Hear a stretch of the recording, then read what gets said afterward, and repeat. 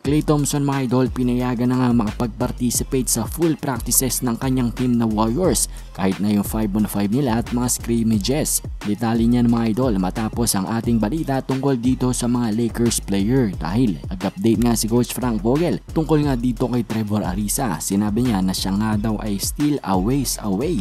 Ibig sabihin ay malayo-layo pa nga itong si Ariza bago bumalik dito sa Lakers. Pero mga idol ganyan din ang sinabi niya kay THT pero wala pa ngang isang linggo ay nakabalik na nga siya sa court. So hindi natin alam kung totoong matagal ba ito. Or baka nga wala pang isang linggo ay itong si Ariza ay makabalik na nga dito sa Lakers. Uh, susunod na Lakers player itong si Austin Reeves mga idol.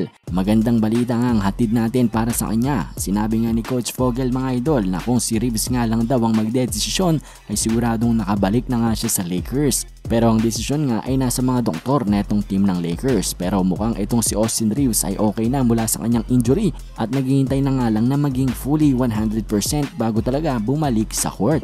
So yun ang update natin sa dalawang Lakers player at ito namang si Klay Thompson ang sunod dyan mga idol. Ayon kasi dito kay Sham Saranya na ito nga daw si Clay ay cleared na maging participant ng mga Warriors practices. Diba't nung nakaraan ay bawal pa siyang sumali sa mga 5 on 5 scrimmages at sa mga medyo physical na pagpapractice nila.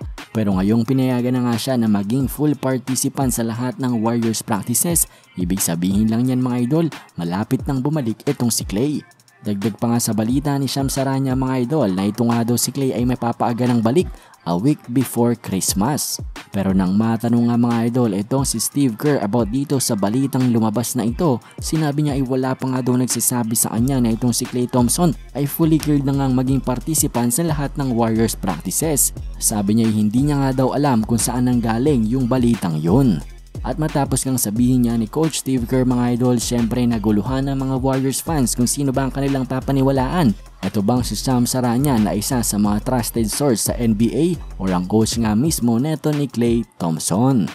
Pero may mga nagsasabi rin mga idol na totoo nga daw yan dahil hindi naman daw tinanggi ni Steve Kerr. Baka nga lang daw na hindi pa siya updated tungkol sa status ng injury neto ni Clay Thompson.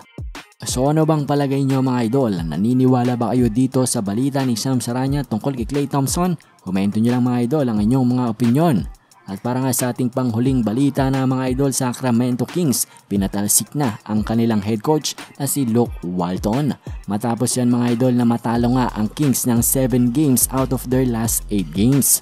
At not surprisingly na rin mga idol, hindi na nakakagulat na itong mga Kings fans ay nagsiselebrate. Sa wakas nga daw ay napatilsik na itong si Luke Walton dito sa Sacramento Kings. So ayan nga mga idol ang ating mga balitang NBA ngayon. Maraming yang salamat sa inyong panonood. Bye!